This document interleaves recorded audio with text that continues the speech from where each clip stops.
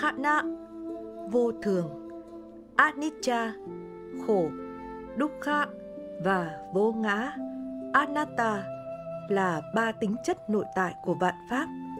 Những yếu tính đó đôi lúc được gọi là pháp tánh, Dhammata như thị tánh, Yatha Phuta, chân đế, Paramatha Satcha hay thực tánh, Sappava.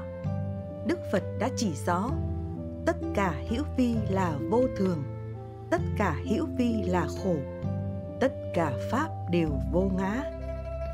Lý vô thường không phải là giáo lý duy nhất của Đức Phật. Vào thế kỷ 6 trước Tây Lịch, triết gia Hy Lạp Heraclitus đã nói tất cả đều ở trong trạng thái biến đổi. All is in a state of flux. Hay mọi vật đều trôi chảy, nghĩa là vạn hữu đều bị chi phối bởi luật vô thường biến đổi. Về phương diện hiện tượng, chân tính của lý vô thường đã được chứng thực một cách hùng hồn qua kinh nghiệm giác quan của chúng ta.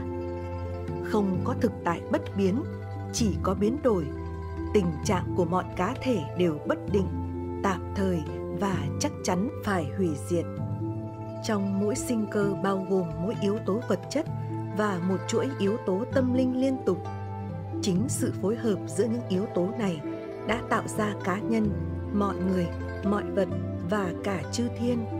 Vì thế cũng là tập thành duyên hợp và trong mỗi cá nhân, sự liên hệ giữa những phần tử tập thành luôn luôn thay đổi, không bao giờ tồn tại trong hai sát na liên tiếp. Khi một cá thể vừa mới tập thành thì sự phân tán cũng đã bắt đầu. Không có một cá thể nào không tập thành, không một tập thành nào không thay đổi, không một thay đổi nào không dị biến và không một dị biến nào mà không có phân tán, hủy diệt. Chu trình đó không sớm thì muộn cũng phải hoàn tất. Tiến sĩ hàn lâm viện anh, thomas william rhys david. Nhưng chúng ta có thể hỏi tại sao vạn hữu đều vô thường biến đổi? Luật vô thường phổ quát liên hệ mật thiết với định lý nhân quả trong đó sự hình thành tiên định hủy diệt và sự hủy diệt tiên định một sự hình thành khác như kinh Maha Parinibbana Đại Niết Bàn dạy.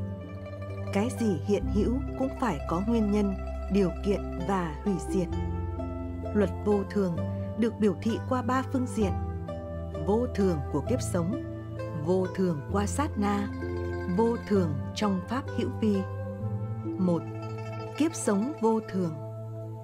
Theo Phật giáo, thì cái gì có sinh tất có diệt nói rõ hơn là tất cả cái gì do duyên hợp mà sinh thì cũng do duyên tan mà diệt một kiếp sống của một con người khởi đầu sinh ra do duyên tinh cha noát mẹ và hương ấm mà thành nên dĩ nhiên khi duyên sinh nghiệp hoặc thọ mạng hoặc cả hai không còn thì chết.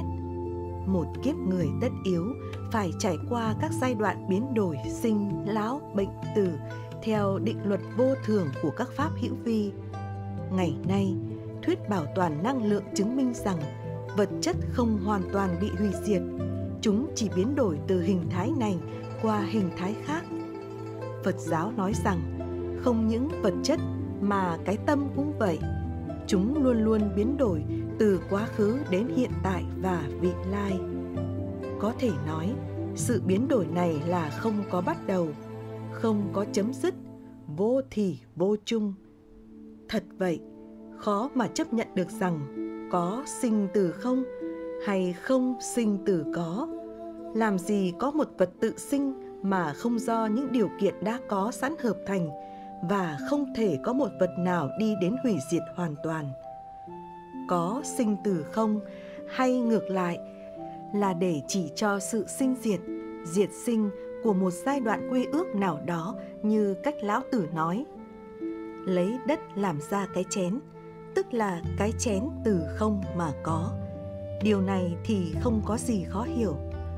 Vậy không một ai thoát khỏi định luật vô thường, sống chết trong một kiếp người đức phật dạy trong kinh pháp cú Thammapada rằng dù giữa không trung biển cả hay trong núi thẳm hang sâu không đâu trên cõi trần thế có thể tránh khỏi tử vong 2. Sát na vô thường Sát na, khát nạ là thời gian chớp nhoáng của mỗi biến đổi. Sát na nghĩa đen là chớp mắt, ám chỉ thời gian cực nhanh. Trong một giây có hàng tỷ sát na, thế mà trong một sát na lại có ba thời sinh, trụ, diệt. Theo Afitama Mahavipassa, những biến đổi của hiện tượng được giải thích một cách rõ ràng như sau. Vạn pháp luôn luôn biến đổi, không một vật gì có thể tồn tại trong hai sát na liên tiếp. Đó là sự biến đổi mắt thường không thấy được, cho nên mới phát sinh quan niệm thường kiến, chỉ khi nào đạt được trí tuệ mới thấy rõ thực tánh vô thường của vạn hữu. Khi ngũ căn bắt đầu tiếp xúc với ngũ trần, cho đến khi nhận thức được đối tượng ấy, thì đến một tiến trình tâm sinh vật lý khởi lên rồi diệt đi qua 11 giai đoạn, kéo dài 17 sát na. Trong một giây có hàng tỷ tiến trình tâm sinh diệt mà mỗi sát na lại có ba thời sinh trụ diệt nữa. Như vậy, trong một giây có biết bao sự sinh diệt vô thường. Vào thế kỷ thứ năm, Ngài Buddhaghosa đã viết trong Thanh Tịnh Đạo như sau. Theo nghĩa rốt giáo, mỗi sát na của sự sinh tồn rất ngắn ngủi, chớp nhoáng như một ý niệm phát khởi, giống như một bánh xe chỉ lăn khi tiếp xúc với mặt bằng tại một điểm, khi dừng cũng chỉ tựa trên một điểm. Cũng vậy, mỗi sát na sinh tồn của chúng sanh chỉ tồn tại trong một tâm niệm.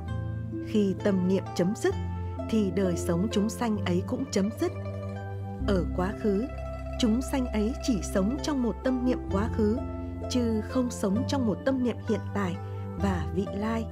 Trong vị lai chúng sanh ấy chỉ sống trong một tâm niệm vị lai, chứ không sống trong một tâm niệm quá khứ và hiện tại. Như vậy, có một nguyên động lực nào mà nhờ đó mọi vật biến đổi hay không? Tất cả xe cộ chạy được là nhờ một động cơ. Máy xay chạy bằng gió. Quả đất quay quanh trục và quỹ đạo của nó vì ảnh hưởng bởi lực ly tâm và sức hút của mặt trời. Vì thế, động lực của sự biến đổi thể hiện theo nguyên tắc bốn tướng của pháp hữu vi là sinh, trụ, dị, diệt. Tuy nhiên, vì một sát na quá nhanh nên chỉ diễn ra ba trạng thái sinh upada trụ thị tị diệt phan ca mà thôi. ba Hữu vi vô thường Đức Phật dạy Sabbe Sankhara Anicca hoặc Anicca Vata Sankhara có nghĩa là tất cả các pháp hữu vi đều vô thường, biến đổi không ngừng. Pháp hữu vi Sankhara là tất cả hiện tượng hay những gì hiện hữu do nhiều yếu tố hợp thành, hay nói cách khác là do nhân duyên sinh. Nhân là lý do hay yếu tố nội tại duyên là điều kiện bổ sung. Khi đầy đủ nguyên nhân và điều kiện thì một pháp hữu vi hay một hiện tượng được hình thành. Khi nguyên nhân và điều kiện tan rã thì hiện tượng ấy trở về không không phải hữu có từ không, hay không là bản chất của hữu, hiểu theo nghĩa triết học, mà cụ thể là không và có là do nhân duyên tan hợp. Ở đây, chúng ta không nói cái không của ý niệm trong trí tuệ. Trong sự biến đổi của pháp hữu vi, chúng ta có thể chấp nhận ngay rằng mọi vật đều có sinh có diệt, có thành có không, do vô thường hay giả hợp nhưng khó thấy được sự sinh diệt vô thường đó trong từng giây từng phút bằng giác quan bằng tưởng chi hay bằng thức chi mà chỉ có thể thấy được bằng trí tuệ bát nhã, Panyaya Pasati mà thôi. Chính vì bản chất của Pháp hữu vi là chuyển biến vô thường, nên Pháp này sinh thì Pháp kia sinh, Pháp này diệt thì cái kia cũng diệt hoặc ngược lại. Pháp này diệt giúp Pháp kia sinh, Pháp này sinh tạo điều kiện cho Pháp kia diệt. Vô thường khiến người ta đau khổ hay vô thường giúp con người tiến hóa còn tùy thuộc vào mức độ nhận thức về yếu tính này của sự sống. Hữu vi có hai loại là sắc hữu vi và tâm hữu vi. Sắc hữu vi là hữu vi trong hiện tượng vật lý thiên nhiên và trong hiện tượng sinh học. Bản chất là vô thường, vô ngã, nhưng nổi bật là vô thường. Sabbe sankhara anicchati. Tâm hữu vi là hữu vi trong hiện tượng tâm lý thuần túy thuộc định luật về tâm chitta niyama và trong hiện tượng tâm lý tạo tác thuộc định luật về nghiệp kamma niyama bản chất là vô thường khổ vô ngã nhưng nổi bật nhất là khổ sabbe sankhara chadukhati vì không phân biệt được hai loại hữu vi này nên nhiều người đã gán cái khổ lên tất cả mọi thứ, khiến cho đạo Phật được xem là bi quan yếm thế.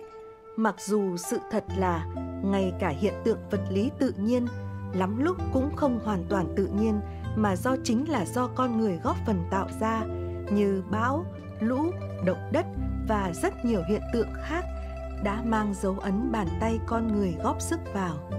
Hiện tượng sinh học lại càng rõ nét hơn trong nguyên tắc tướng tự tâm sinh. Vì vậy, sắc hữu vi tự nó không khổ cũng đã biến thành nỗi khổ của con người dù là trên bình diện vật lý hay sinh lý. Trong kinh Vô Ngã Tướng, Đức Phật hỏi các vị tỳ kheo, cái gì vô thường, cái ấy khổ hay lạc? Các vị tỳ kheo trả lời là khổ. Cái gì vô thường ở đây ám chỉ ngũ quần, sắc, thọ, tưởng, hành, thức. Sắc thuộc sắc hữu vi trong hiện tượng sinh học, cụ thể như mắt, tai, mũi, lưỡi, thân. Còn thọ tưởng hành thức thuộc tâm hữu vi. Tuy nhiên, trong hai loại sắc hữu vi thì loại thuộc hiện tượng sinh học hầu hết do tâm sinh, nên tính chất nổi bật của các sắc ấy vẫn là khổ, đúng như các vị tỷ kheo đã trả lời một cách đúng đắn. Tóm lại, vì vô minh ái dục, những người không nhận ra được bản chất vô thường của pháp hữu vi đã có ảo vọng về một bản ngã và thế giới thường còn. Từ đó, phát sinh ra thường kiến, ngã chấp và cũng từ đó nhận lấy hậu quả phiền não khổ đau luân hồi sinh tử chỉ khi nào nhận chân được thực tánh vô thường và loại trừ những tà kiến ngã chấp chúng ta mới có thể tự do tự tại ung dung giải thoát 5. Đối diện với đau khổ Lo âu và sầu muộn là hai thứ phiền não đồng sinh. Ở đâu có lo âu, ở đó có phiền muộn. Chúng đồng hiện hữu và liên kết chặt chẽ trong việc chi phối đời sống con người. Chúng ta nên can đảm đối diện với thực tế, không trốn chạy trước áp lực của phiền não, nghĩa là chúng ta cần phải tìm cách chế ngự những xung động bất an ấy bằng chính sức mạnh của sự nhẫn nại, kiên trì, trầm tĩnh và sáng suốt. Đau khổ của chúng ta do chính chúng ta tạo nên và tích lũy trong tâm hồn bởi bất lực hay không thấu hiểu được những tình cảm sâu kín nội tại trong chúng ta và đánh giá sai lầm đối tượng ngoại giới. Nếu chúng ta có một kiến thức chân chính và trí tuệ thích ứng để nhận thức thực tánh của vạn hữu, nghĩa là thấy mọi hiện tượng đều là vô thường, khổ, vô ngã. Thấy rằng bản ngã chỉ là vọng tưởng của một tâm hồn bất ổn thì chúng ta đã tiến xa trong việc tìm kiếm một phương thuốc trị liệu căn bệnh phiền não. Phải chuyển hóa khối óc và con tim thế nào để chúng ta có thể xả bỏ tính ngã ái vị kỷ cho mục đích cao cả hơn là phục sự nhân loại chúng sanh? Đó là một trong những điều kiện giúp chúng ta tìm thấy chân hạnh phúc, vì chính tham lam ích kỷ là một trong những nguyên nhân tạo ra lo âu phiền muộn chúng ta có những ham muốn khát vọng, những sợ hãi, lo âu mà không biết làm thế nào để tự thanh lọc. Tệ hơn nữa, có khi chúng ta không dám nhìn nhận thực trạng đó ngay với chính lương tâm mình. Nhưng dẫu chúng ta có lẩn tránh thì cũng vô phương vì thực trạng ấy vẫn hiện hữu và bành trướng ảnh hưởng một cách vô thức. Có khi, vì không biết nguyên nhân tâm bệnh của mình, chúng ta đã dùng những phương pháp trị liệu sai lầm để đè nén những cơn khủng hoảng tinh thần nhưng càng bị ức chế những tình cảm này lại tìm lối thoát bằng cách làm xáo trộn sinh hoạt cơ thể để biến thành thân bệnh đó là trường hợp một người quên tìm sầu muộn của mình trong rượu chè cờ bạc hay dùng những thứ dược phẩm có khả năng làm lắng dịu phiền não trong chốc lát như các chất ma túy, cần sa, vân vân. Phương pháp trị liệu này không những không có hiệu quả lâu bền cho tâm bệnh mà còn làm cho cơ thể suy nhược thêm. Tất cả bệnh trạng tâm sinh lý ấy đều có thể chữa trị bằng những phương pháp tu dưỡng tinh thần như tinh tấn, chánh niệm, thiền định, vân vân. Vì một tâm hồn chưa được chuyển hóa thuần thục là nguyên nhân của mọi phiền muộn lo âu. Trước hết, chúng ta cần phải can đảm chịu đựng mọi khổ đau, không nên tỏ ra cho người khác biết những lo âu sầu muộn của mình, vì làm như thế đã không lợi ích gì cho bản thân mà còn gây thêm phiền lụy cho kẻ khác. Trừ phi người mà ta thổ lộ tâm trạng riêng tư là người khách quan sáng suốt có thể giúp chúng ta thấy rõ vấn đề và phấn chấn tinh thần để ứng phó tích cực hơn nhưng sự thật chứng minh rằng nhiều người đã đánh mất tình bằng hữu chỉ vì thổ lộ quá nhiều lo âu, phiền muộn của mình với bạn. Chẳng ai muốn nghe những lời than vãn cau có của chúng ta cả.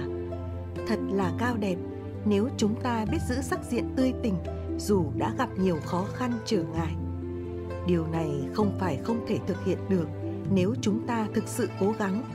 Và đây cũng không phải là thái độ giả dối, mà chính là bản lĩnh trầm tính vô úy trước mọi khó khăn trở ngại. Bất hạnh của chúng ta xuất phát từ nhận thức sai lầm về bản chất và mục tiêu tối hậu của cuộc sống. Chính vô minh chi phối nhận thức sai lầm này để đưa đến kết quả là tà kiến và tà tư duy.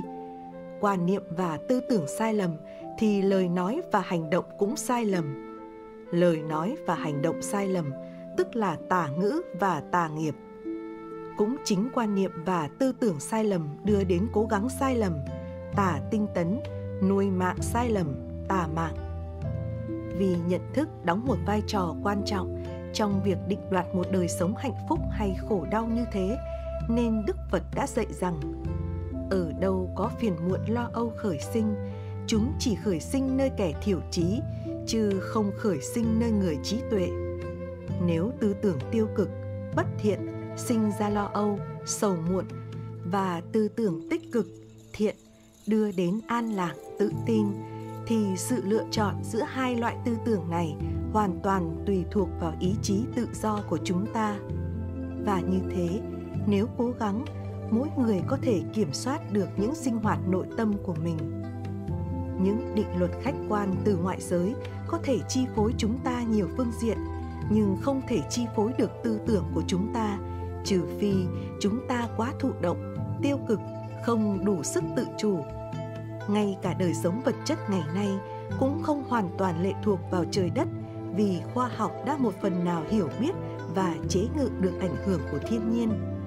Những bệnh tật nguy hiểm, những thiên tai khủng khiếp mà ngày xưa được xem là hình phạt của trời đất hay là cơn thịnh nộ của quỷ thần đã bị con người chế ngự dần dần nếu đời sống tinh thần có thể chủ động được và một khi tâm dẫn đầu các pháp tâm làm chủ tâm tạo tác tất cả như kinh Thammapada đã dạy thì tất cả tâm bệnh lo âu, phiền muộn, sợ hãi, vân vân, dù khó khăn cách mấy cũng đều có thể chữa trị tận gốc. Người ta có lý khi nói rằng lo âu làm cho con người chống già hơn năm tháng. Băn khoăn sợ hãi ở mức độ bình thường là bản năng tự vệ, nhưng nếu để chúng trở thành những nguồn lực thường trực chi phối chúng ta mà chúng ta không thể kiểm soát được thì thật là nguy hiểm vì chúng có thể làm đảo lộn sinh hoạt tâm sinh lý bình thường và có khi đưa đến căng thẳng, suy nhược, tâm thần phân liệt, vân vân. Các nhà y học cho biết, phần lớn bệnh tâm thần do bị lo sợ chi phối thường xuyên, thậm chí có người không đủ nghị lực đối đầu với phiền não, đã tìm lấy cái chết như một lối thoát cuối cùng. Người Phật tử hiểu rằng lần trốn khổ phiền bằng cách chết đi là vô ích vì thực ra dù chết đi họ vẫn còn mang theo những mầm mống phiền não trong tận đáy vô thức Favanga để chờ dịp trổ quả ở kiếp sống lai sinh. Như một tội nhân vượt ngục, anh ta khó có thể sống an lành khi án trạng vẫn còn. Chỉ khi nào được phóng thích, anh ta mới thoát khỏi cảnh tù đầy. Cũng vậy, chỉ khi nào phiền não được giải phóng, chúng ta mới được an vui tự tại. Khổ đau và sầu muộn chỉ là kết quả của những nhân bất thiện đã và đang được tạo ra. Phật giáo nói rằng bậc thiện trí thức chỉ sợ nhân chứ không sợ quả, có nghĩa là cố gắng của chúng ta không phải để lẩn tránh trách nhiệm về hành động sai lầm đã làm, mà chỉ để tránh gieo thêm những sai lầm mới. Như một người vay nợ phải vui lòng phải trả, vì đó là bổn phận tất nhiên. Không nên miễn cưỡng trốn tránh trong lo âu sợ hãi và hay hơn hết là không nên vay thêm nợ mới. Đức phật không còn bị chi phối bởi những phiền não nội tâm. Tuy vậy, đôi khi ngài vẫn gặp những trở ngại từ bên ngoài đưa đến. Ngài luôn luôn trầm tĩnh đón nhận mọi trở lực, bất cứ từ đâu tới, vì trung quy, những phiền nhiễu ấy là dư âm của những nghiệp lực quá khứ của ngài. Một hôm, đức phật cùng đại đức ananda vào khất thực trong thành kosabi, bị hoàng hậu magantha xúi dục dân chúng trong thành. Hễ cứ gặp đức thế tôn và tăng chúng ở đâu thì phải tìm cách phỉ báng, lăng nhục nghe như vậy, đại đức ananda bạch với đức phật rằng, bạch đức thế tôn, người trong xứ này hủy báng chúng ta, vậy chúng ta nên đi xứ khác. Đức phật mỉm cười nói, này ananda, nếu người ở xứ ấy cũng sẽ hủy báng chúng ta thì sao? Bạch đức thế tôn, chúng ta lại đi nơi khác. Này ananda, nếu nơi kia người ta cũng hủy báng nữa thì phải làm sao? Bạch đức thế tôn, chúng ta lại đi xứ khác nữa vậy? Này ananda, làm như vậy không phải đâu. Phiền não sinh ra ở nơi nào thì diệt ở nơi đó. Chúng ta phải ở đây nhẫn nhịn, cho đến bao giờ họ hết hủy báng rồi hãy đi. Như vị võ tướng dũng cảm sông pha nơi trận mạc, không sợ gươm đao, không khiếp tên đạn chúng ta hãy thản nhiên bình tĩnh trước những lời tán dương hay phỉ báng. Như vậy, thái độ của bậc thiện trí thức là không sợ khổ đau. Chúng ta cần phải sáng suốt tìm ra nguyên nhân làm cho chúng ta lo âu sầu muộn để tìm biện pháp thích nghi khả dĩ, diệt tận gốc rễ của chúng, chứ không cần lẩn tránh hay bực bội phàn nàn. Một nhà phân tâm học nổi tiếng khi được hỏi phương pháp nào hoàn hảo nhất để khắc phục lo sợ. Ông ta trả lời, hãy làm lợi lạc tha nhân. Vì tâm trong một lúc chỉ có một đối tượng, nên hai tư tưởng đối nghịch không thể cùng hiện hữu. Chúng chỉ có thể thay thế hay kế tục nhau, nên khi có tư tưởng tích cực thì tư tưởng tiêu cực vắng mặt. Như thế, khi tâm hồn chúng ta mang tư tưởng vị tha thì không có sự hiện hữu của tư tưởng ích kỷ và như chúng ta đã đề cập ở trên, tư tưởng tiêu cực vị kỷ là nguyên nhân của mọi lo âu sầu muộn. Thật vậy, đúng như lời nhà phân tâm học, một trong những phương pháp hoàn hảo nhất để giải trừ lo sợ là cố gắng làm lợi ích cho tha nhân. Đức phật là bằng chứng cụ thể nhất về đức tính vị tha và cũng chính vì thế ngài đã dễ dàng ung dung tự tại trong mọi tình huống khó khăn nhất của cuộc sống, đã thoát ly mọi lo âu, sầu muộn, phiền não, khổ đau trong vòng sanh tử luân hồi. Nếu chúng ta biết chia sẻ và cảm thông với đau khổ của người khác, thì cũng đã làm vơi dịu nỗi khổ của chính mình. Một người thật sự muốn được hạnh phúc, không nên phá hoại hạnh phúc của kẻ khác. Tìm hạnh phúc bằng cách lừa đảo hãm hại kẻ khác là hạ sách bất chính, vì ta có thể lừa dối vài người bất cứ khi nào và tất cả mọi người trong một thời gian nào đó. Nhưng ta không thể lừa dối tất cả mọi người mãi mãi. Như abraham lincoln đã nói, tất cả những ham muốn, khát vọng, những cố gắng, nỗ lực của con người hầu như đều nhằm vào việc tìm kiếm một đời sống hạnh phúc. Nhưng nếu quá vị kỷ từ lợi, người ta có thể dẫm đạp lên hạnh phúc của tha nhân. Và khi bị kẻ khác phản ứng không thuận lợi, người ta dễ sinh ra bất mãn, nóng nảy hoặc hung dữ. Như thế hóa ra khi đi tìm hạnh phúc, vô tình lại rước thêm phiền lụy. Vì một người không thể có hạnh phúc khi nội tâm chất chứa đầy bất mãn sân hận và lo âu sợ hãi lòng vị tha có thể đối trị những phiền não thô do tính vị kỷ gây ra nhưng để đoạn trừ tận gốc phiền não vi tế, thì cần phải có trí tuệ quán chiếu, vipassana nhà nạ hay thiền tứ niệm xứ lấy thực tại đương xứ làm đối tượng giác niệm thì mới có thể rốt ráo thoát khỏi phiền não khổ đau. 6. Phật giáo và sự thờ cúng khi thấy Phật tử đến chùa lễ bái hay những nhà sư đang kính cẩn nghiêng mình trước đài sen trong khung cảnh trang nghiêm, tịch mịch đầy trầm hương nghi ngút, chắc hẳn có người hỏi rằng Phật tử có cầu nguyện hay không? Họ làm gì khi đến chùa? và thái độ của người Phật tử ra sao đối với sự nguyện cầu. Trước hết, chúng ta phải biết cầu nguyện là gì. Đó là một danh từ có nhiều nghĩa. Trong các tôn giáo tin tưởng và thờ phụng Thượng Đế, mà họ tin là đấng tối cao, toàn năng, toàn thiện, toàn tri, đã dựng nên thế gian và được coi là đấng tạo hóa hay thủy tổ của muôn loài. Cầu nguyện có nghĩa là thỉnh cầu ở nơi Ngài một sự chỉ đạo, hộ trì hoặc cầu xin Ngài ban cho sức khỏe, hạnh phúc, thịnh vượng, bình an và đôi khi xin Ngài tha thứ những lỗi lầm đã vi phạm. Chúng ta có thể nói ngay rằng vì người Phật tử không tin tưởng nơi thần linh hay bất cứ một đấng quyền uy ban phúc giáng họa nào nên cầu nguyện cũng không có ý nghĩa như trên.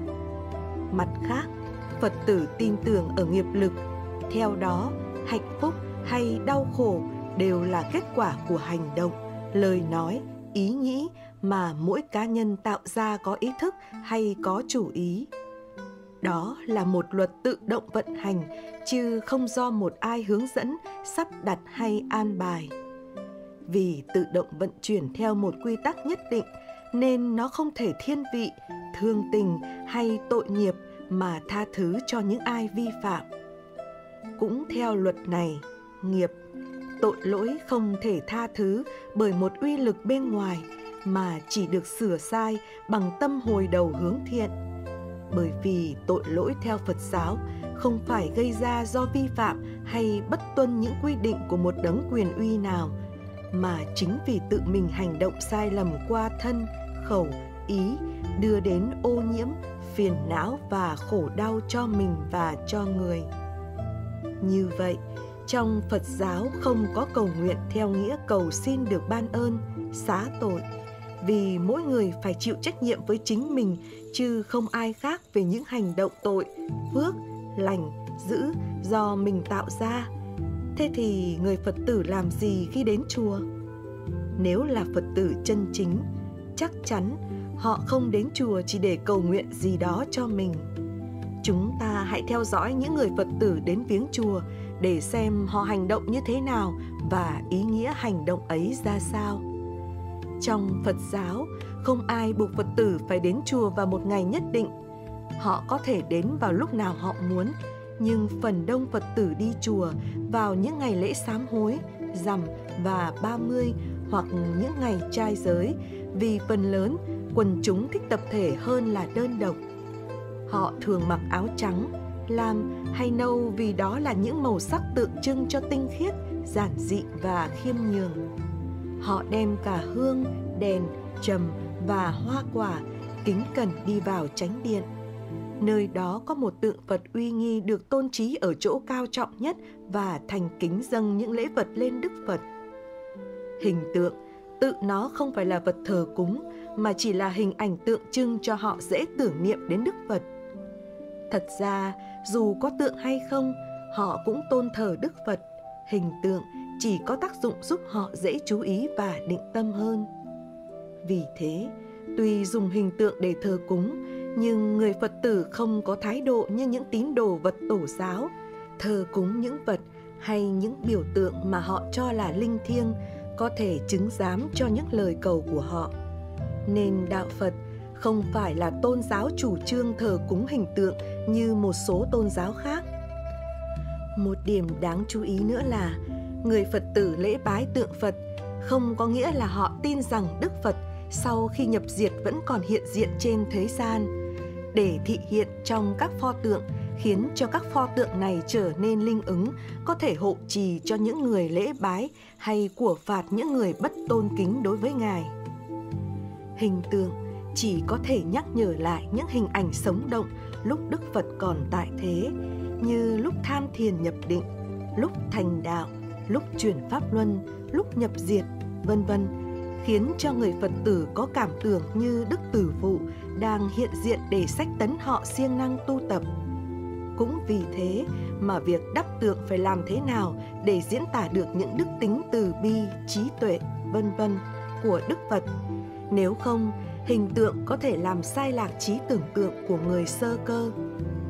Mặc dù Đức Phật đã nhập diệt, nhưng đời sống và giáo pháp của Ngài vẫn còn có một ảnh hưởng lớn lao đối với nhân loại ngày nay.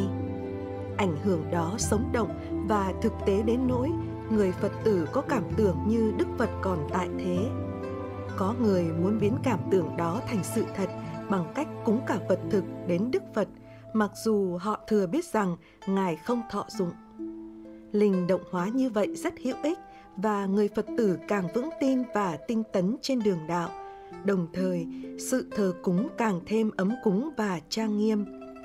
Đó là một cách để chứng tỏ rằng ảnh hưởng của Đức Phật đối với con người mọi thời vẫn mạnh mẽ không kém thời nguyên thủy.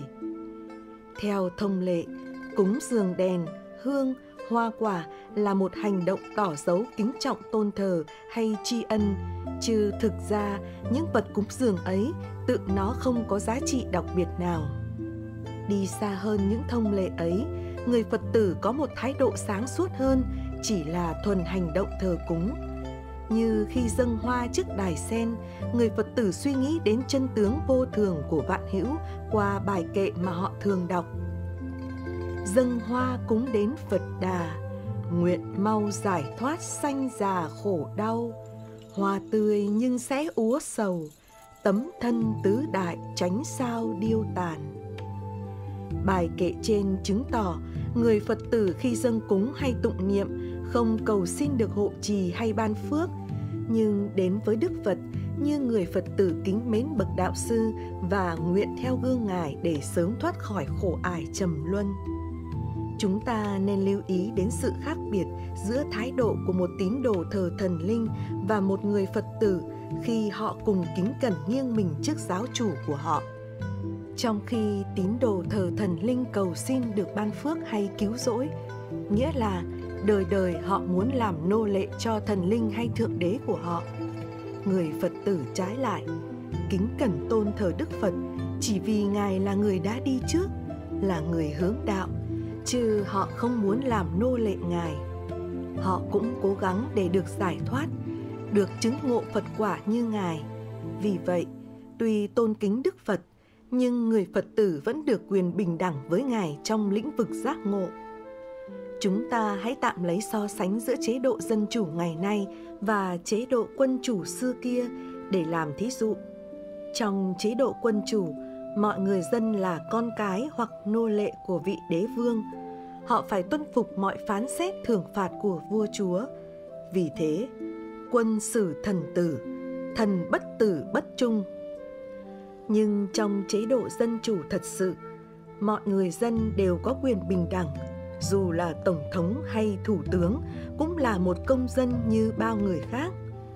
Người dân kính trọng vị nguyên thủ quốc gia vì vị này thay thế họ để lãnh đạo để lo việc chung và tất cả mọi người dân đều có thể trở thành nhà lãnh đạo nếu họ có đủ tài đủ đức và những điều kiện cần thiết để trở thành vị nguyên thủ bình đẳng và dân chủ hơn đức phật dạy rằng không nên tôn kính Ngài bằng cách cúng dường lễ bái, dù cúng dường bằng những chân châu quý báu cũng không phải là cách tôn kính cao thượng, phải thực hành theo pháp mà ngài đã chứng ngộ và chỉ bày để sớm được giải thoát và đạt đến quả vị như ngài.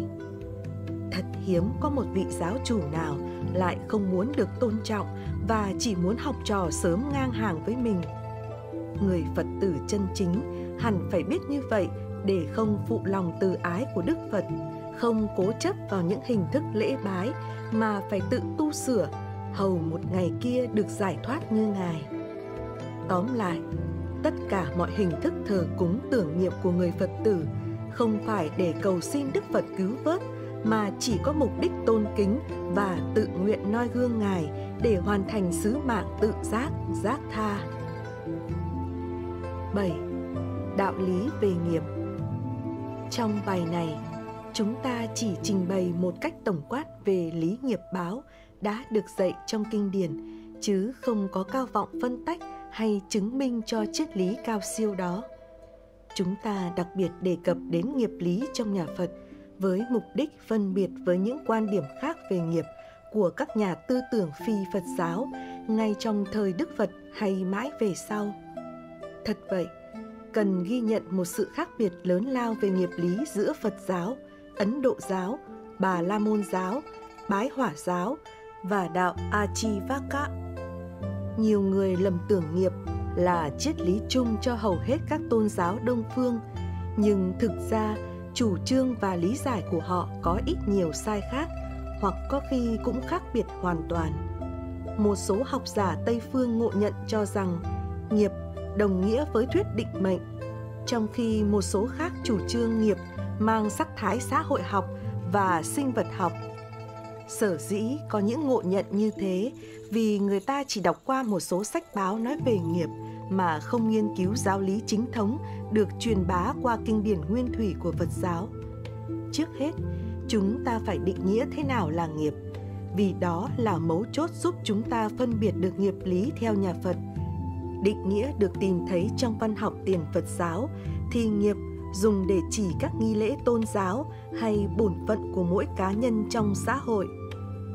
Chúng ta đọc thấy câu này sau đây trong Isa Upanisa, Kuvane Veha, Kamani, Chi Chi vi cha tầng sama Hãy để cho con người ước vọng sống lâu trăm tuổi và thi hành bổn phận trong xã hội. Điều này chứng tỏ rằng chữ Kama dùng với nghĩa bổn phận hay nghiệp vụ.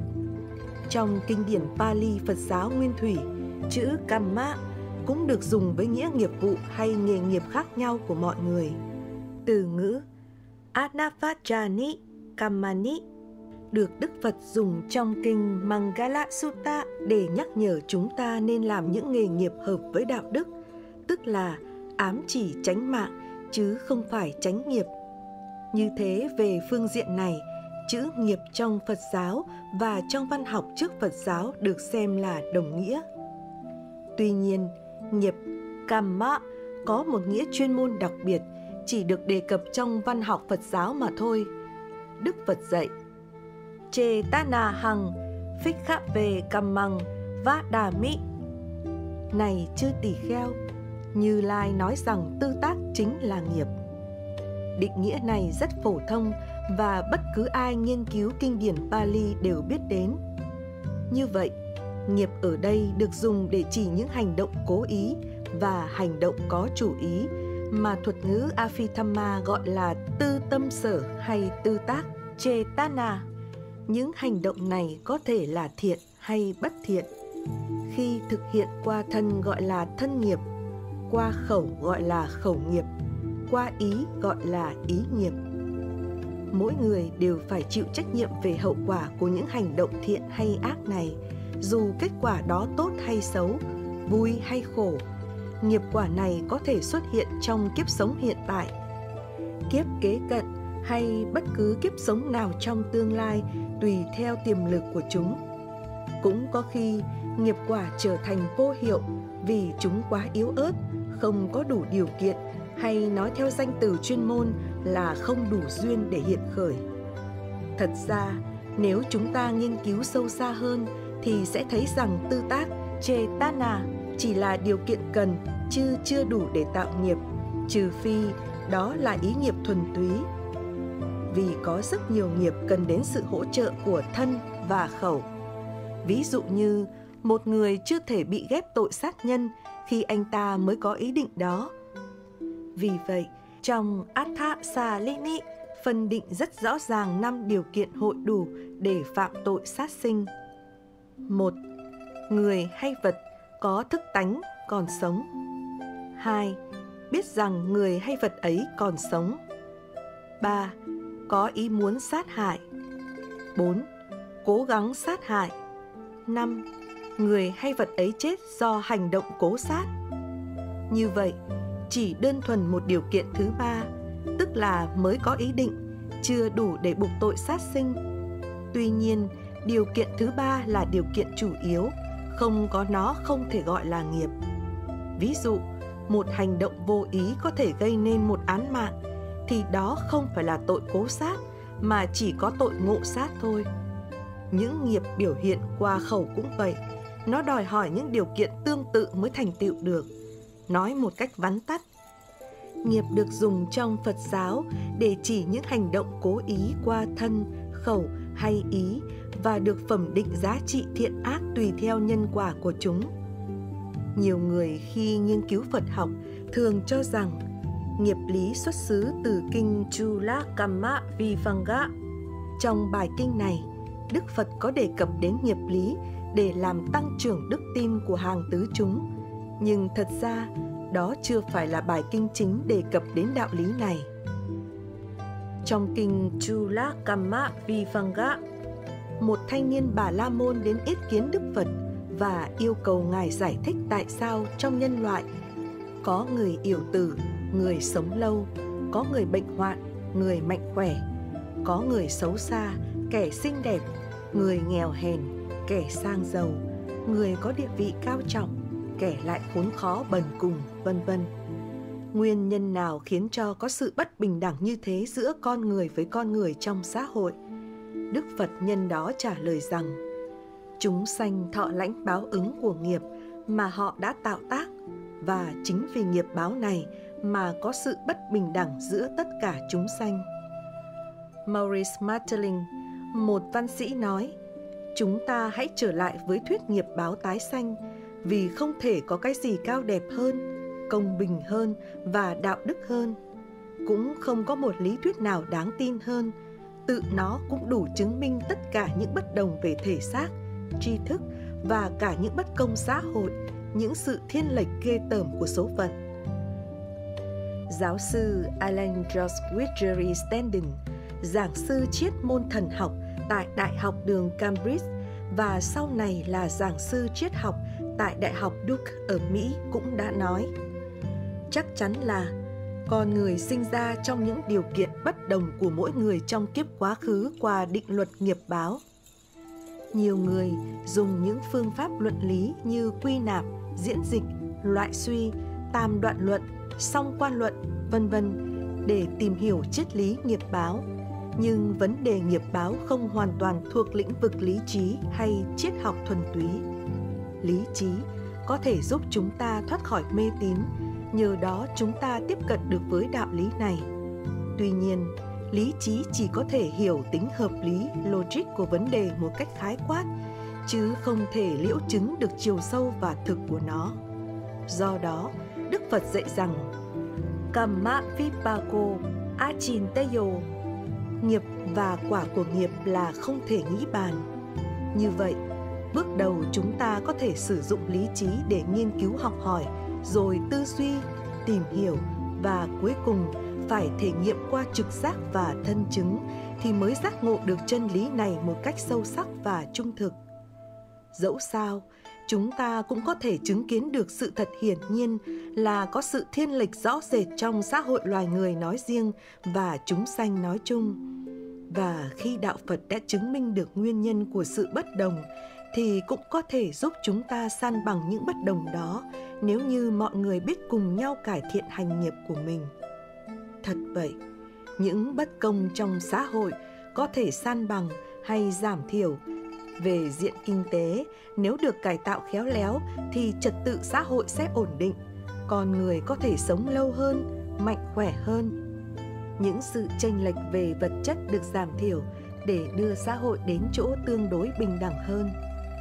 Về phương diện tinh thần, sự bất đồng gây nên do mức độ tham lam, sân hận và si mê nhiều hay ít. Vì vậy, muốn san bằng những bất đồng về tinh thần thì phải tiêu diệt tham, sân, si bằng những đức tính bố thí, từ bi và trí tuệ. Thông suốt được tác động vận hành nhân quả của nghiệp, tức là đã đắc đệ nhị minh, Dutiya Vicha, trong Tam Minh, Tiso Vicha, Túc Mạng Minh, Sanh Tử Minh hay Thiên Nhãn Minh và Lậu Tận Minh mà Đức Phật đã chứng ngộ trong đêm thành đạo. Khi ấy, tâm của Ngài nghiêm tịnh, thanh khiết, vô nhiễm, thoát ly khỏi các lậu hoặc, nhu nhuyến, thích ứng, tránh trực và tự tại. Ngài chuyên chú vào hiện tượng sanh tử của chúng sanh và với thiên nhãn thuần tịnh, Ngài thấy chúng sanh có kẻ cao thượng, người thấp hèn, kẻ xinh đẹp, người xấu xa, kẻ hạnh phúc, người khốn khổ, sanh sanh tử tử, tùy theo nghiệp lực của họ. Trong kinh Mahasi Hanada, Đức Phật nói đến sự chứng ngộ của Ngài như là một cuộc thử nghiệm khoa học. Có năm con đường gọi là ngũ đạo. Đó là gì? Địa ngục, súc sanh, ngạ quỷ, người và trời. Như Lai biết rõ những cõi địa ngục hay những loại nghiệp nào đưa vào cảnh giới khổ đau này sau khi chết. Này Sariputta, Như Lai biết rõ tâm của mỗi chúng sanh trong đó. Chúng sanh nào vì hành động như thế nào, tạo những nghiệp nhân như thế nào, rồi bị sanh vào địa ngục như thế nào sau khi thân hoại mệnh chung.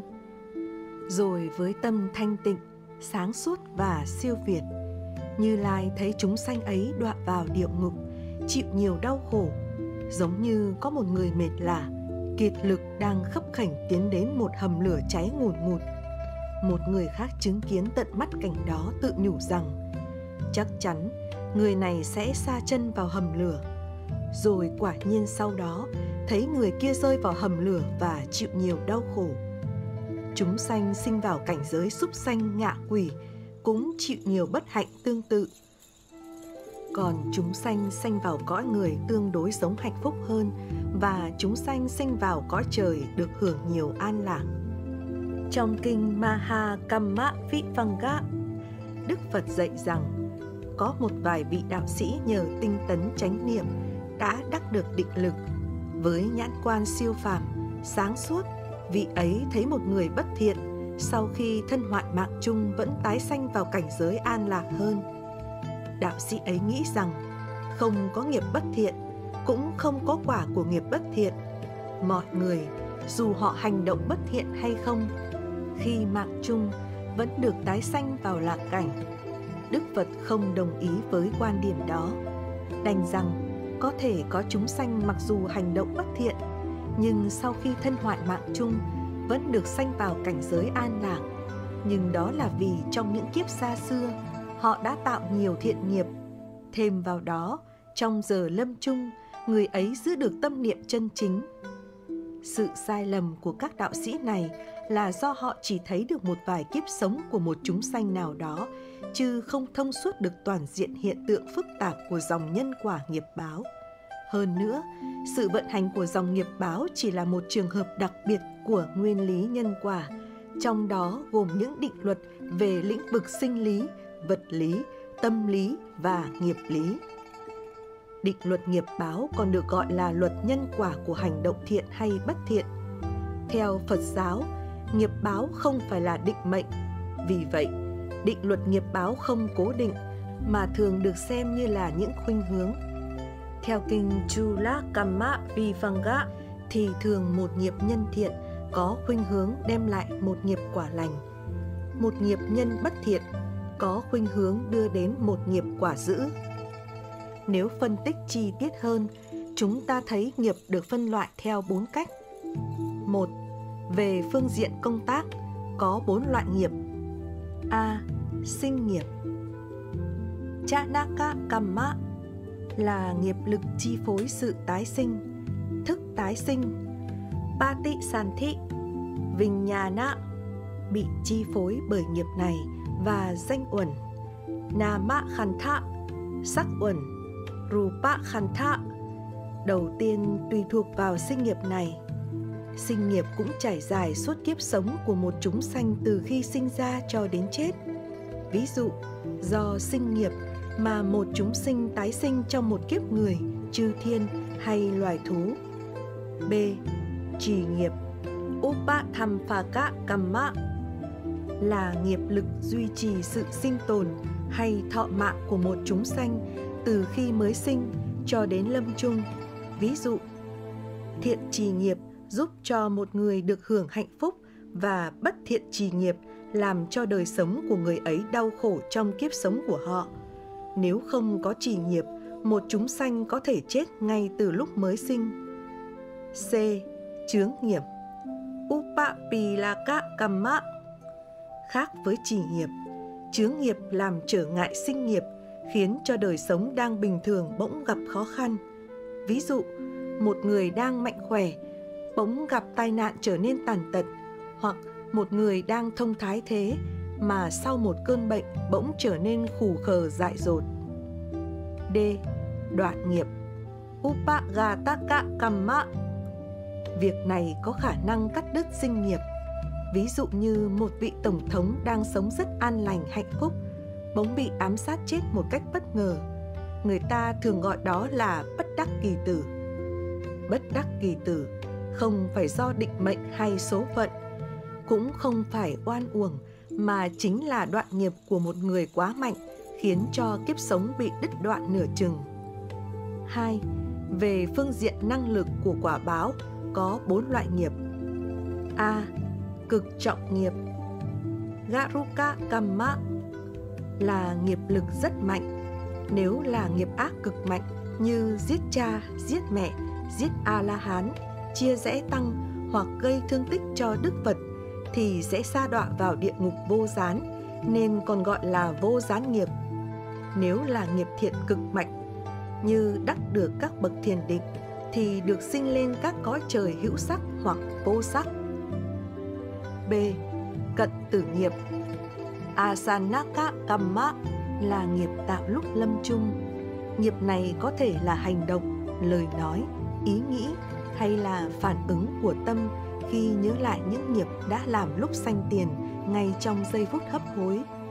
Có ba hiện tượng xuất hiện trong giờ phút lâm chung là nghiệp, kamma, người đang hấp hối có thể thấy lại một nghiệp nào đó đã làm trong lúc sinh tiền như người hung ác có thể thấy lại hành động sát hại của mình. Người lương thiện có thể thấy hành động bố thí, vân vân. Nghiệp tướng.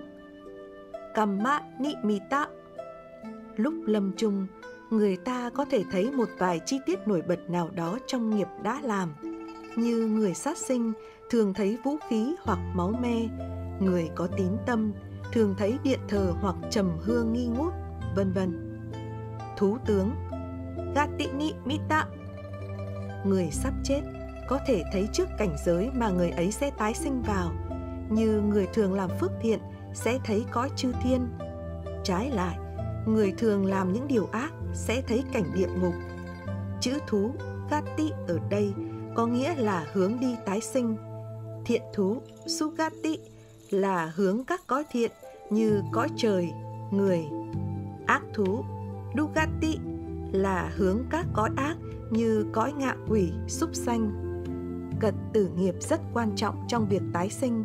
Một người có thể làm nhiều việc thiện, nhưng ngay khi chết nhớ lại một điều ác nào đó, rồi sanh vào cảnh khổ. Trái lại, một người làm nhiều điều ác, nhưng lúc lâm chung, giữ được tâm niệm lành, thì vẫn được sanh vào cảnh nhàn. Tuy nhiên, những hành động thiện hay ác kia vẫn phải trả quả sau đó hoặc được tích trữ cho đến khi đủ duyên sẽ trổ quả bất cứ lúc nào. C.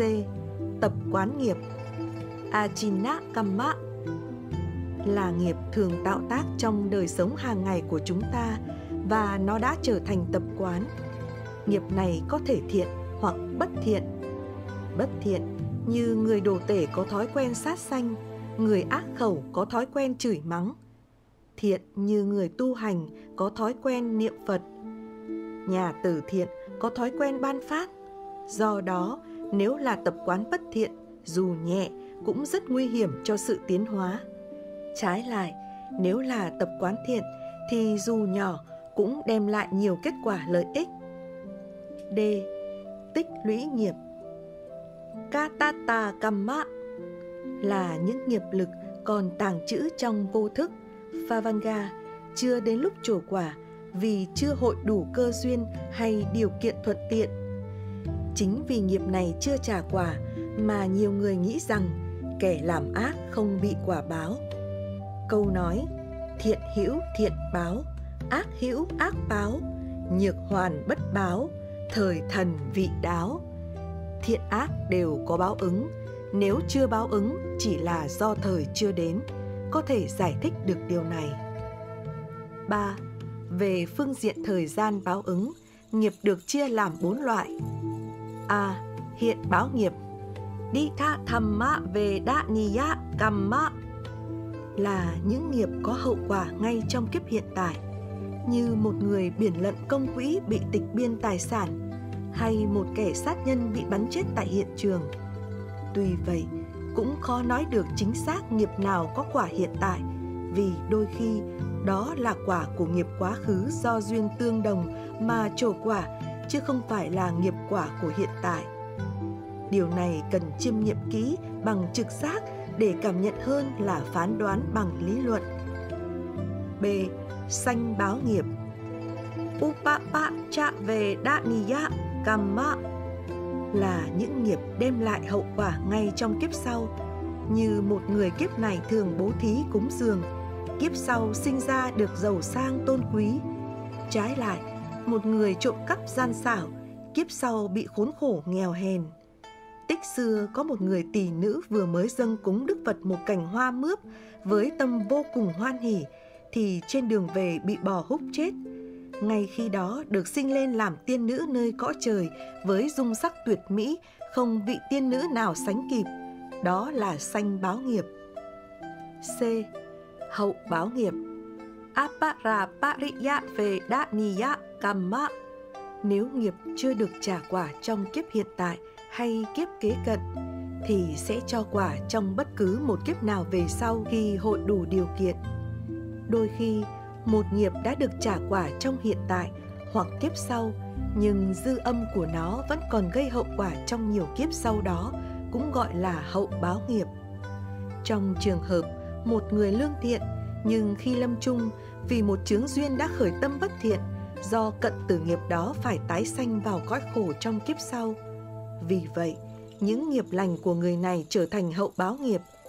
Trái lại, một người thường tạo nghiệp bất thiện, nhưng khi lâm chung nhờ một thiện duyên đã khởi tâm lành, có thể tái sanh vào nhàn cảnh, nên những nghiệp ác của người ấy sẽ trổ quả trong những kiếp bất định về sau.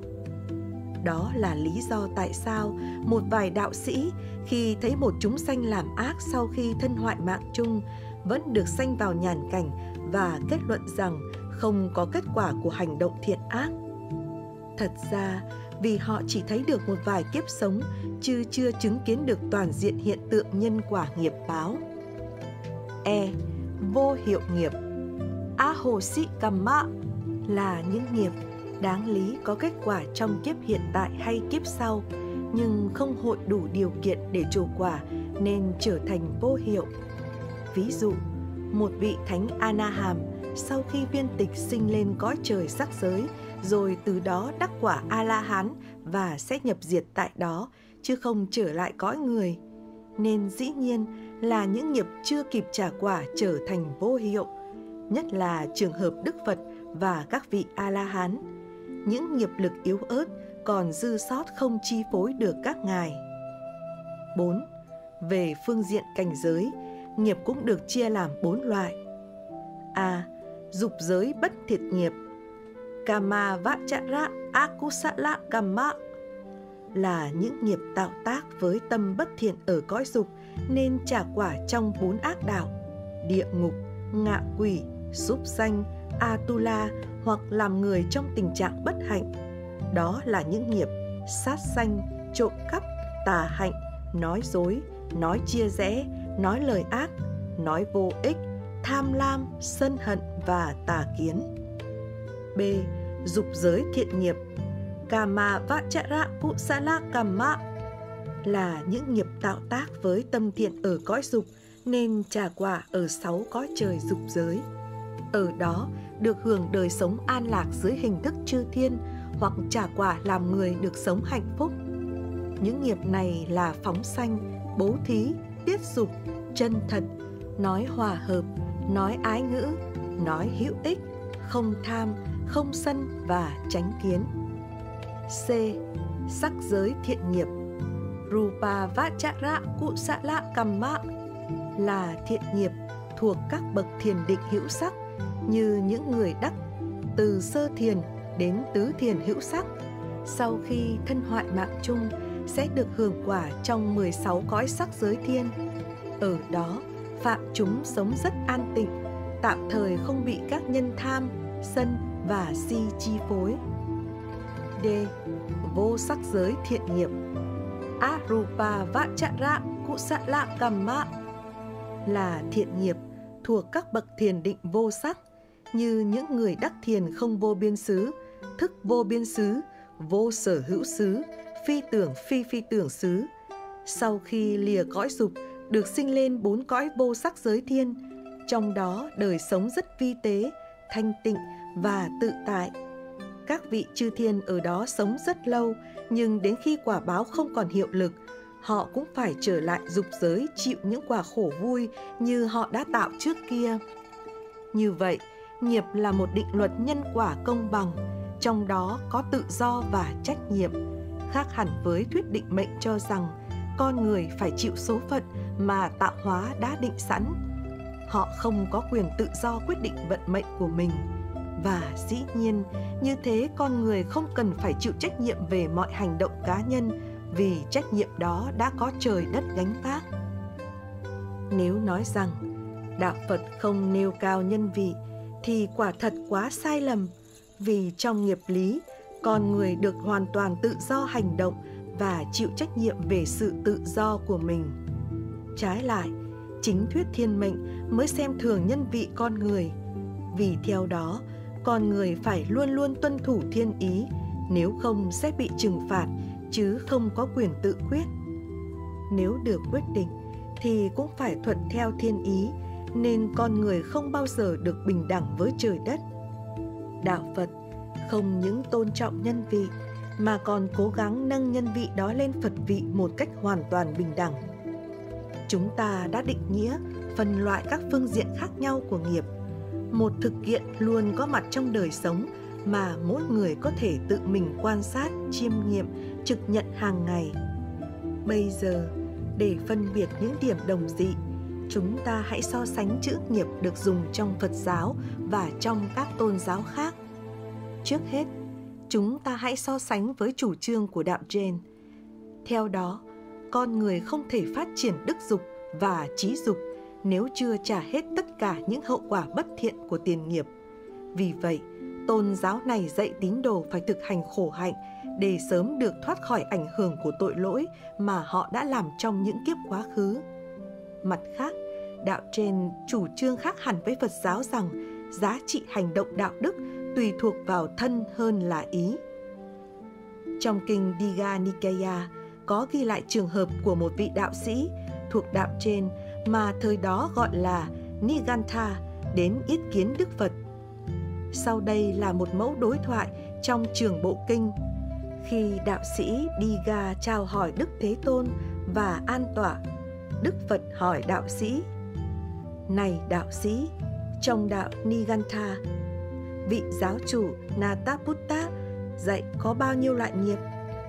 Bạch Đức Gotama, trong đạo của chúng tôi, vị giáo chủ Nataputta không hề nói đến cái nghiệp nhưng chỉ dạy về cái tội mà thôi. Vậy có bao nhiêu thứ tội? Bạch Ngài, tội có ba loại, tội do thân, do khẩu và do ý. Trong ba tội ấy, tội nào nặng hơn hết? Bạch Ngài, chính tội của thân nặng hơn cả. Sau khi xác nhận ba lần như thế, đạo sĩ Diga hỏi lại Đức Phật, Bạch Đức Gotama, còn theo giáo pháp của Ngài có mấy thứ tội? Này đạo sĩ, trong giáo pháp của Như Lai không hề nói đến tội, nhưng chỉ nói về nghiệp mà thôi. Bạch Ngài, vậy có bao nhiêu thứ nghiệp? Nghiệp cũng có ba loại, nghiệp thân, nghiệp khẩu và nghiệp ý. Bạch Ngài, trong ba loại nghiệp ấy, loại nào quan trọng nhất? Này đạo sĩ, chính ý nghiệp là quan trọng nhất. Qua đoạn kinh trên, chúng ta thấy chủ trương về nghiệp giữa Phật giáo và đạo trên không hoàn toàn giống nhau. Phật giáo xem hành động có chủ ý mới tạo nghiệp. Một đằng cho rằng dù vô tình hay cố ý vẫn có giá trị thiện ác như nhau. Hai quan điểm như thế không thể bị đồng hóa được.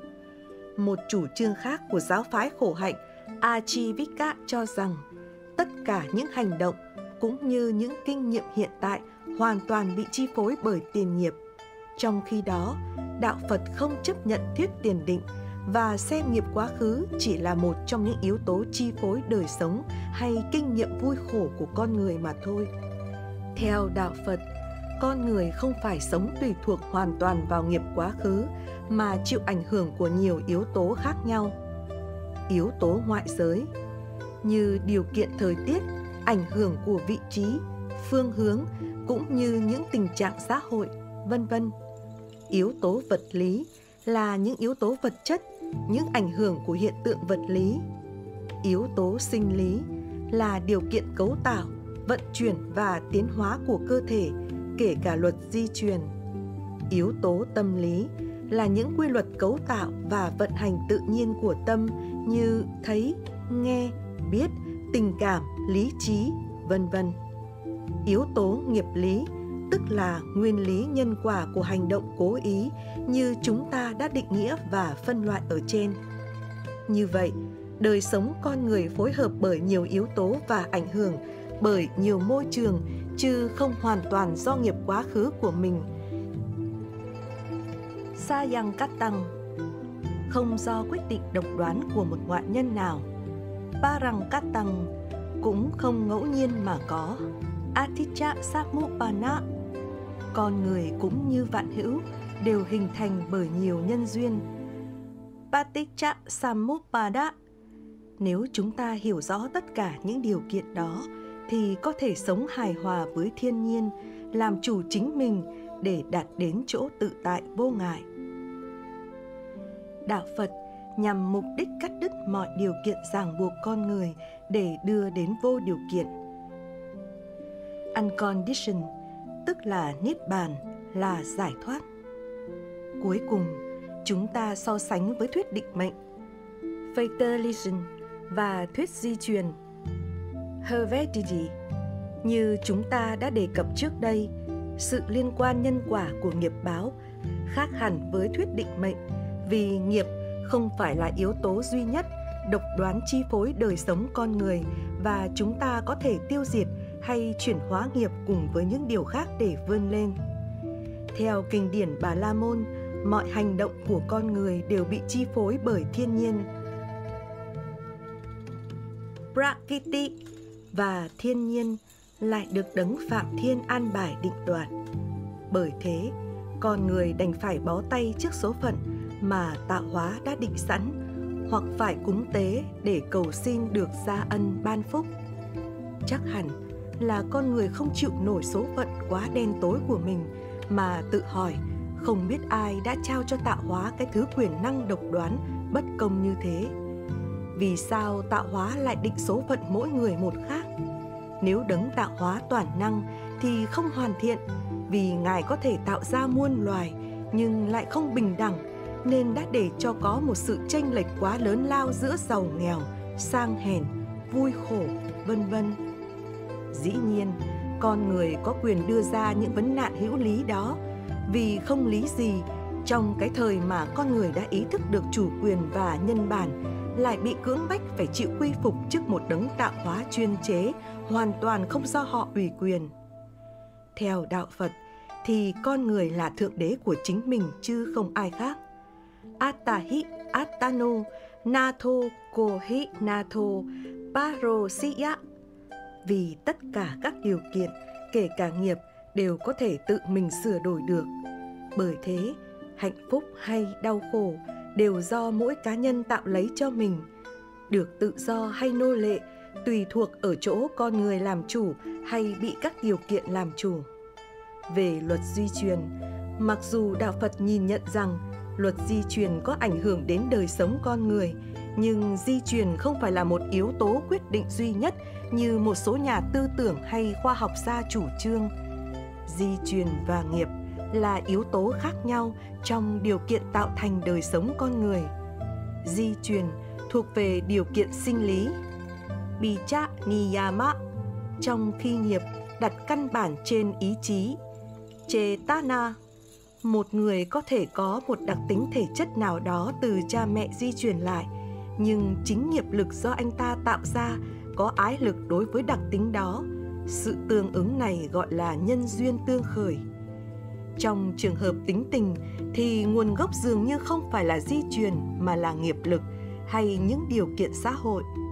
Hai đứa con song sinh ít khi có tính tình giống nhau và nếu chúng được đặt trong những điều kiện xã hội khác nhau thì tính tình lại càng biến đổi. Xem thế yếu tố di truyền không phải là một yếu tố quyết định. Khi phân tích các tác phẩm của Mark Target, giáo sư triết học tại học đường Cambridge, người đã nhiệt liệt bênh vực thuyết nghiệp báo trong cuốn Vài giáo điều tôn giáo Some Dermis of Religion và cuốn bản chất của hiện hữu, giáo sư Charlie Dunbar Brad đã viết Mark Target đã chỉ cho chúng ta thấy rằng giả thuyết về ái lực tương tuyển giữa những loại tâm hồn này và thể xác kia có thể giải thích được sự tương đồng về đặc tính tinh thần giữa cha mẹ và con cái mà người ta thường cho là trực tiếp ảnh hưởng của sự di truyền.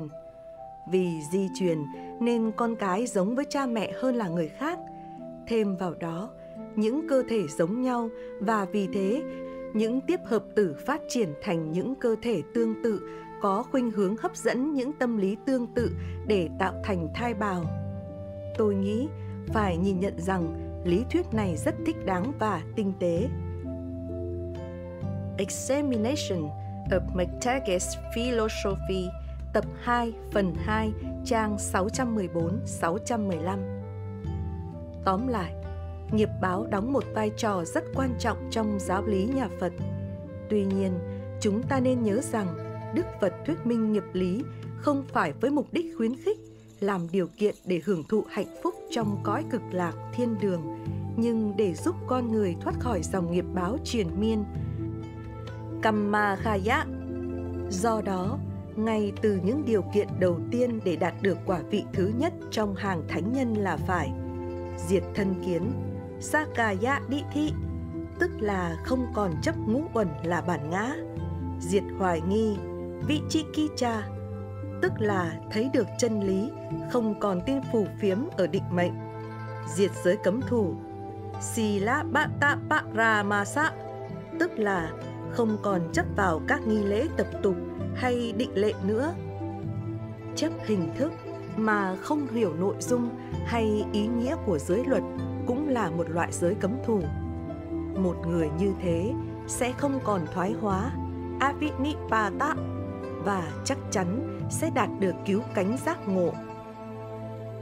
Niyato Sambodhi Parayano Đó là con đường dẫn tới sự đoạn tật ảnh hưởng của nghiệp lực, phát triển tinh thần vô ngã, từ bi và trí tuệ.